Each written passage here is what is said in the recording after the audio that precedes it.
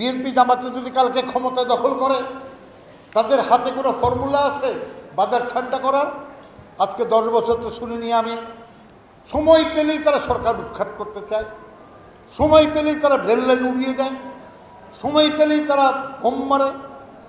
সুযোগ পেলেই তারা ট্রেনে আগুন লাগিয়ে দেয়। কখনো অগ্নি সন্ত্রাস কখনো জঙ্গি সন্ত্রাস, কখনো হত্যা, কখনো একুশে অগস্টের ঘটনা, কখনো ইঁদুর বাসায় বোম কখনো মুক্তিযোদ্ধার ফাঁসি। এইসব ঘটনা ঘটতেছে। এইটার কি করবেন বাংলাদেশে? আর কতদিন অমীমাংসীয় বিরোধ?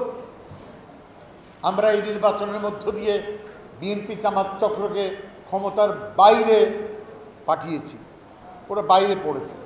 কিন্তু ক্ষমতার দরজায় আবার ধাক্কা মারছে। ক্ষমতা পুনর্দখলের জন্য। একদিকে বাজার সিন্ডিকেটের দৌরাত্ম আরেকদিকে বিএনপি জামাতের ক্ষমতা পুনর্দখলের চেষ্টা। এই দুইটার ভিতরে আমরা পড়ে গিয়েছি। তা আমি সেখানে বলি, মাননীয় প্রধানমন্ত্রী, আজকে আমরা যারা এখানে আছি, এই রাজনৈতিক সমস্যার যদি সমাধান করতে হয়, তাহলে জনগণকে স্বস্তি দিন।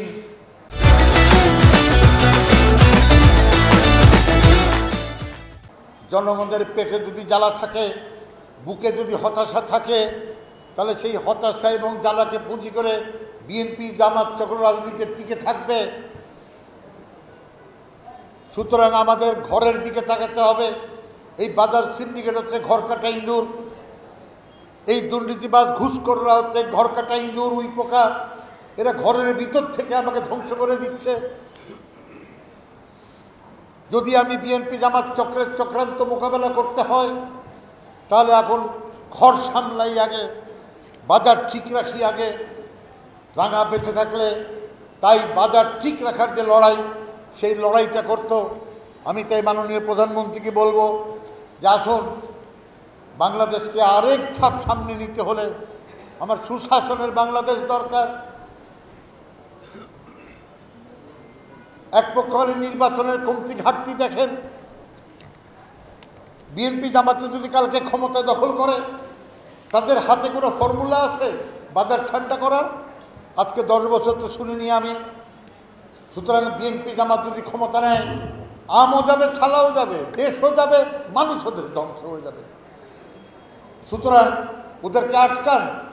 আসুন আমরা মিলেই ঘরটা গুছাই, ঘরের ভিতর থেকে ঘর কাটা ইঁদুরদের ধ্বংস করি পিস দিয়ে কুই পোকাগুলোকে মেরে ফেলি।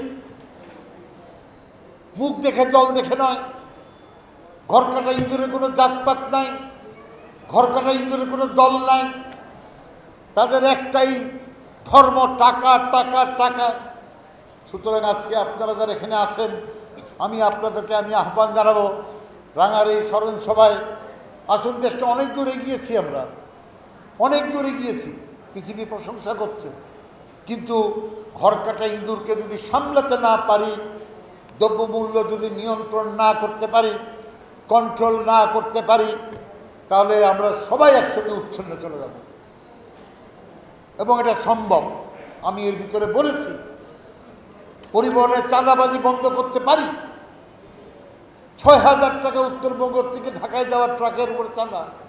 কেন? এটা বন্ধ করতে দুই ঘণ্টা সময় লাগে। যেটা আমাদের আয়ত্তের ভিতরে আছে, কালকে বন্ধ করি। আর অর্থনীতির ভুল ত্রুটি সংশোধন করার জন্য দশ দিন সময় নেই।